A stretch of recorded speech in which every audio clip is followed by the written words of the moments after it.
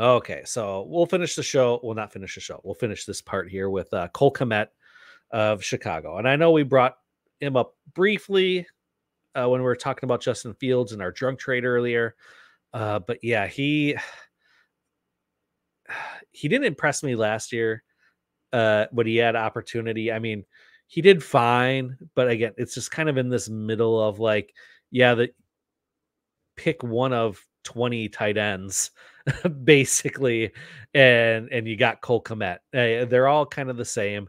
Uh, and then going into the offseason, they get Keenan Allen, they get Gerald Everett, they get D'Andre Swift. I mean, they bring in a bunch of capable pass catchers.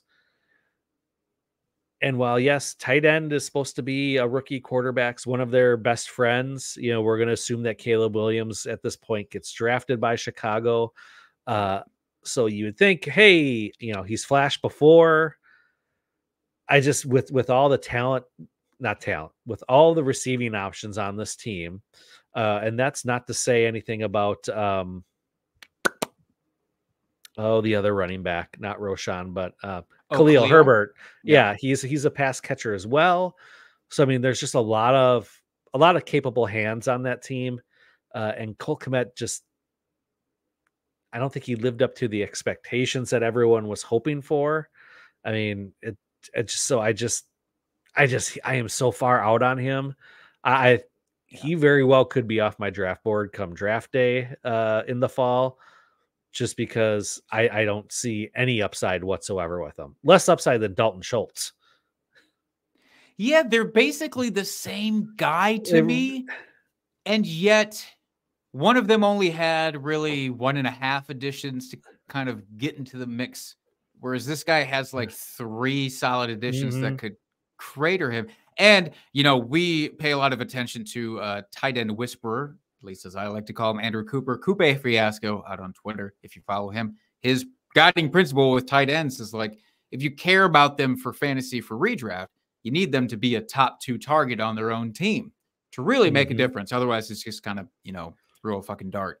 And Cole yep. Kmet, when I mean, and he also pointed out that, you know, Shane Waldron, who is now the offensive coordinator for the Bears, he's basically followed Gerald Everett or vice versa for their entire careers. Like he was on the Rams when they drafted mm-hmm. Everett.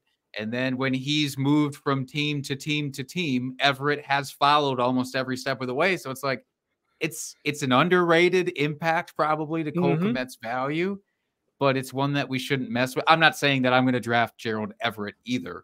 In fantasy. right, yeah, I don't want I mean, either. No, hundred percent. Yeah. Okay. If you well, had wanna... to, if you had to pick real quick though, Cole Kmet or Dalton Schultz in redraft, who'd you rather have next year? I think I'd rather have Dalton Schultz. I I, just, I really do. I just I think I'm with you. I mean, I, I like I said, he Cole Kmet, eh, not no one's ever off your draft board, but he is damn close at this point. I just I just don't see any upside whatsoever with him.